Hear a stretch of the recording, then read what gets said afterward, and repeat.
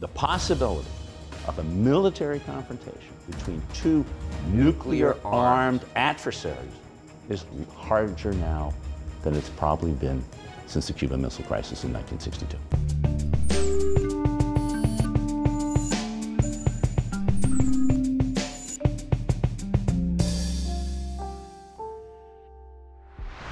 And welcome to GZERO World. I'm Ian Bremmer, and this week we are talking about Russia and NATO and whether they'll ever be able to talk to each other again. The war in Ukraine sped up the breakdown of an already fraught relationship between Russian President Vladimir Putin and the Western world. Both sides are digging in for the long haul.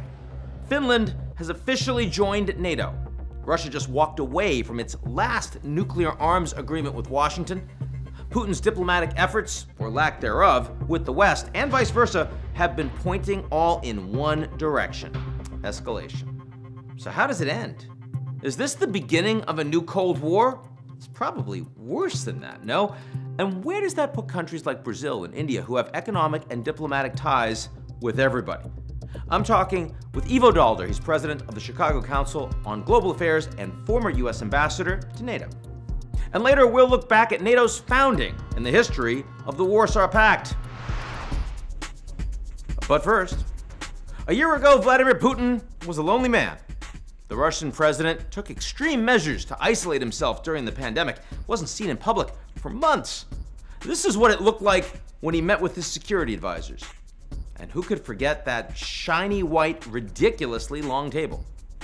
But even a former KGB agent can't stay in total isolation forever. Autocratic leaders need friends too, especially ones in the middle of a long, expensive war. So, who is standing by Russia? Who are Putin's friends right now? Well, first, they're the loyalists. They're the ones who voted against the UN resolution condemning Russia's special military operation since the beginning Belarus, Syria, North Korea, and Eritrea. Now, that's what I call a party. Mali and Nicaragua joined the gang, they heard it was fun, on a similar resolution for the one year anniversary. And that's it. Next, there's China. The friend Russia really, really wants the world to know is on its side. Xi Jinping's first trip abroad in the pandemic was to Moscow, and the Kremlin rolled out the red carpet. Putin even personally walked Xi to his car at the end of the summit. How's that for hospitality? Xi and Putin say they have a friendship without limits, but China has resisted giving Russia direct support, like troops or weapons, for its war in Ukraine. Putin also has some friends close to home. His first foreign trip after launching the invasion was in June to Tajikistan and Turkmenistan. In fact, in the second half of 2022, Putin traveled to all five former Soviet countries in Central Asia to shore up Russia's major sphere of influence. There are the friends a little farther away, like Iran. Putin met with Supreme Leader Ali Khamenei in Iran last July, and a few weeks later, Russia received its first batch of Iranian made drones. And then there are countries on the fence like India, Brazil, and South Africa with strong economic ties to both the Kremlin and NATO. And they're trying to walk a tightrope between the two sides, calling for peace but not openly criticizing Russia. So far, they've all refused to participate in Western sanctions, and while they technically haven't supported Russia's invasion, their money sure does. Then again, so do the Europeans when they buy Russian oil, food, and diamonds. So, despite the West's best efforts to isolate Russia, Moscow still has plenty of international partners, allies, and friends to lean on when times get tough. And as sanctions keep fuel prices high and global inflation too, who knows how many more it will have a year from now? And what does all this mean for Russia's enemies, namely the G7 and NATO? To find out, I'm talking with President of the Chicago Council on Global Affairs and former U.S. Ambassador to NATO, Ivo Daalder. Ambassador Ivo Daalder joins us. Good to see you. Hey, great to be here, Ian. So much talk about. Uh, NATO, to start, since you've got a little bit of experience there, uh, how significant, not just symbolically, but in real operational terms, is it that Finland is now a member over 800 new miles of border of NATO directly with Russia? It's extraordinarily significant. It's probably the most significant new member to, of NATO, at least since uh, Poland joined, but possibly even since the end of the Cold War, when you really think about it. Here's if you're a Russian military planner, you all of a sudden have to think about a border that you didn't really worry about, 830 miles long, twice as long as any other part of the border uh, uh, that Russia has with current NATO members. Uh, it now needs to defend that border. It needs to think about how do we make sure that NATO doesn't come anywhere near some of the most important strategic assets that Russia has. In the Kola Peninsula, way up north, it is a submarine base, it has nuclear weapons uh, capabilities there, and they're now within striking distance uh, of NATO ground forces in Finland. So that's one big thing. Second big thing is that Finland is an incredibly capable military. These are people who have been armed in their neutrality. They've never skimmed on the ability to defend their territory. And they have been part of NATO military operations in Afghanistan and Kosovo, uh, in Libya, around the world uh, in many ways for the past 30 years. They're pretty integrated, their capabilities uh, are, are real. They have a ground force that is not only uh, very capable today, but they can massively uh, bring in reserves over time. So you're adding real military capability uh, to the alliance. And then finally, one of the most exposed elements of NATO are the Baltic countries, uh, who are uh, close to, to Russia, small, not very uh, large when it comes to their own military capability. Well, right across the Baltic Sea now has Finland. And so the Baltic Sea is becoming a NATO lake with St. Petersburg and Kaliningrad, the only Russian uh, entry points, but the rest of it is now all NATO, particularly once Sweden, of course, joins.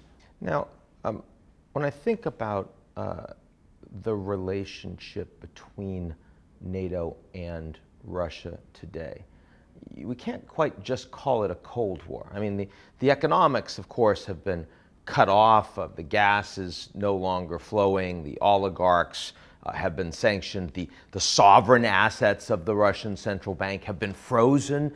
What do we call that? I mean, what, what is the state of relations between NATO and Russia today?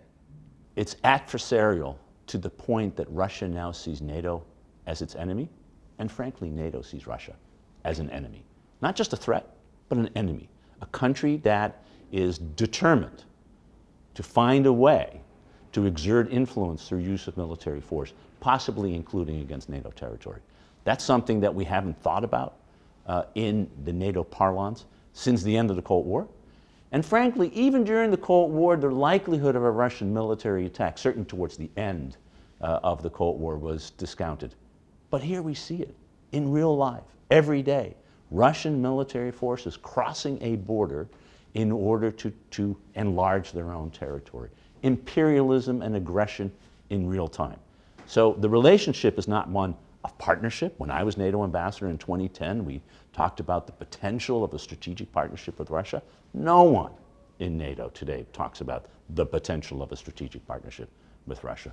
It is the most important military threat, and that's very different. What we're saying is that the military confrontation today of the global order, leaving aside any other threats, is absolutely not just as bad as when the Cold War was in place, but in some ways it's worse. In some ways it's more dangerous. Yeah. Because during the Cold War, since the late, sort of mid to late 1960s, there was an attempt by both the United States and the Soviet Union to find ways to coexist, to talk to each other, there was arms control, there was the hotline, there were a whole series of agreements that said, let's manage our military competition in a way that we know that the only reason we will ever have a war is if somebody decides that that's what they want to do. No accidents, no escalation, none of that. We even had arms control agreements. We had a European conference on security and cooperation that led in 1975 to the Helsinki Final Act that defined the relationships of all countries in Europe and, uh, and North America. All of that's gone.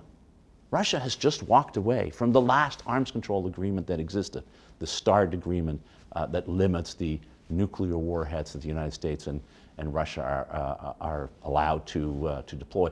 Russia has just said that they will no longer tell the United States when it tests ballistic missiles. We've been doing that for 50 years, we're telling each other, because you want to know if they're testing a ballistic missile that is not an attack.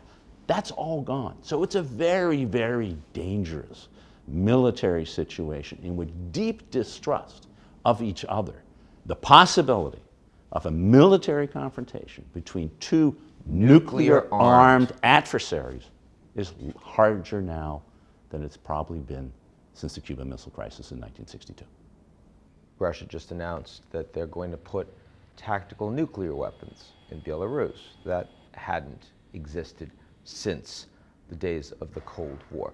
In the context of all of these fail safes that are being taken away, this does feel like an intentionally endangering move. Yeah, clearly Putin is uh, becoming used to rattling the, his nuclear saber in ways that, frankly, we haven't seen for a very long time. Maybe since Khrushchev was banging his shoe uh, at the UN, of course, the Cuban Missile Crisis. The way that Putin talks and the people around Putin talk about nuclear weapons, Medvedev, his deputy uh, national security uh, chief, uh, talks about nuclear weapons as if they're the same uh, as conventional weapons, but just a bigger bang for the buck. It's really worrisome. The actual movement of nuclear weapons potentially to Belarus, uh, as long as they remain under firm Russian control, I actually have less concern about. I don't think that is leading to uh, the first step to nuclear war.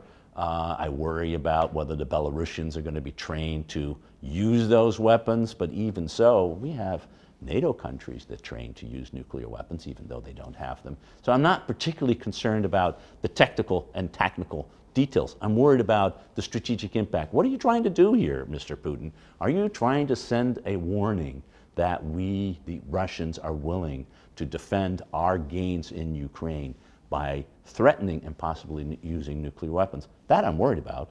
I think it's real. I think uh, he's trying to do it to deter the West, and he's been very successful in doing so so far. The West has provided arms, intelligence, training, but not troops. Now, there is, of course, an enormous difference between the way the collective West feels about Putin and everyone else feels about the West, everyone else feels about Russia, feels about the war. I mean, India is a strong member of the Quad partner in many ways of the West, but their relationship with Russia is virtually identical to China's relationship with Russia. South Africa's perspective is very aligned. Brazil, Mexico. So, I mean, as soon as you get out of the collective West, suddenly it's not talk about war crimes. It's not talk about Ukraine has to be redressed no matter what. It's these sanctions are hurting us. We need to keep doing business with the largest country geographically in the world with all their resources, and, and you guys are hurting us. What, what do we do about that? It's a real problem, and I think uh, people in, in the White House and in uh, the chancelleries and the Elysees and other places are spending a lot of time thinking about how do we change not only the narrative, because the narrative is important, and clearly the Russians were very good at saying, everything that you're suffering as a consequence of this war, higher fuel prices, less food, and therefore higher food, pri uh, food prices, and everything else that came from it, is because of the sanctions that the West has inflicted, as opposed to, well, wait a minute, where, why did these sanctions get inflicted and uh, imposed in the first place? Because you invaded another country. And I think the, the West sort of believing that because they had a pretty darn good vote in the UN General Assembly, 140 plus countries. In condemning the invasion. Condemning the invasion. But and not in supporting the sanctions. No, but in condemning the invasion, yeah. they thought, well, everybody, of course, understands this is a terrible thing and we have to do something. We're not going to war directly, so therefore we are uh, imposing sanctions. And we, by the way, we will uh, allow, of course, food and other uh, agricultural products to be uh, exported. Uh, uh, we didn't think that people would see the sanctions as the problem as opposed to the invasion. And in fact, that is the reality. The reality is when you're the man or a woman on the street in Brasilia or in Johannesburg or frankly in Delhi and your fuel and food prices have gone up, you're going to say, wait a minute, where's the problem here? It must be the West, it's not Russia. Uh, and, and so trying to figure out a way to start talking about this in a, in, in a different way is one part of it. But the second part of it is it, it puts pressure on, on finding uh, a, a solution to this conflict. Uh, and it's not a surprise that at the G20 meeting in Indonesia, the intervention by the Ukrainian president was to lay out a 10 point peace plan. And there is the question at what point does military confrontation start to compete more effectively with diplomatic engagement uh, and, and in terms of how to talk about this war. We're not quite there yet. There's a pending Ukrainian but it offensive. feels closer, doesn't it? It does feel closer. Yeah. I think people know that the war is starting to, uh, to hurt uh, Im- the image, but more importantly, that there isn't a lot of juice left in the war in the sense that there is enough material and enough manpower to continue with the high intensity that we currently have. Lower intensity, probably for months, if not years, possibly even decades. After all, this war at a low intensity point started in 2014. Right. It's been going on for Yeah. uh, almost nine years. But that, at, at that point, you start thinking about, well, is there a way that we can start talking about it? Today, no, can't say that. Ivo Daalder, thanks for joining. Always a pleasure, Ian. Russia and NATO have been sworn enemies for about 75 years. But could there be a time in the distant future when Russia is a friend, even a partner? That's not happening anytime soon. Certainly not while Putin is in charge. But if history is any indication, it's not such a crazy idea. NATO has a precedent of absorbing its enemies. I'm talking, of course, about the Warsaw Pact, the 1955 military alliance between the Soviet Union and Eastern Bloc countries. Don't remember the Warsaw Pact? Well, we're going back to the beginning of the Cold War. World War II has just ended. Perry Como was at the top of the charts, don't know who that is. And the Iron Curtain went up almost immediately.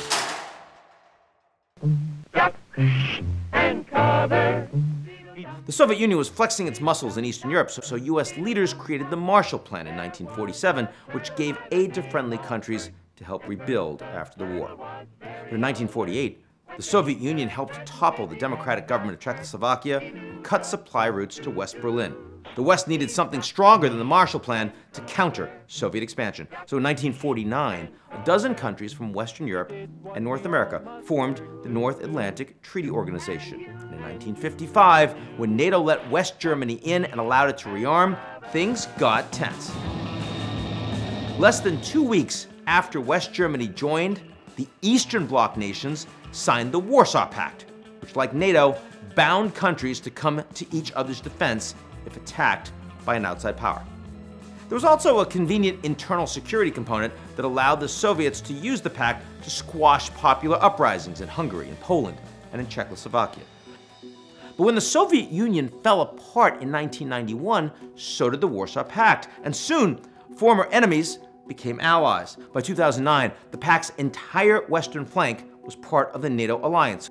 So yes, NATO formed in opposition to the Soviets and continues to fight Russian expansion in Eastern Europe to this day.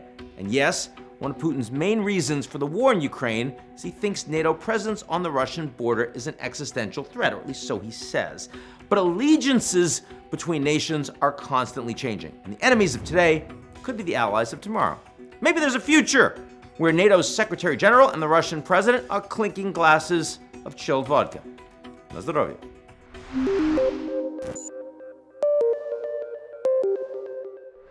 That's our show this week. Come back next week, and if you like what you see, or even if you don't, but you're thinking, hey, I want to be part of an alliance, how come no one wants collective security with me? We've got you covered. Take a minute to sign up for our most excellent morning newsletter. It's called GZERO Daily.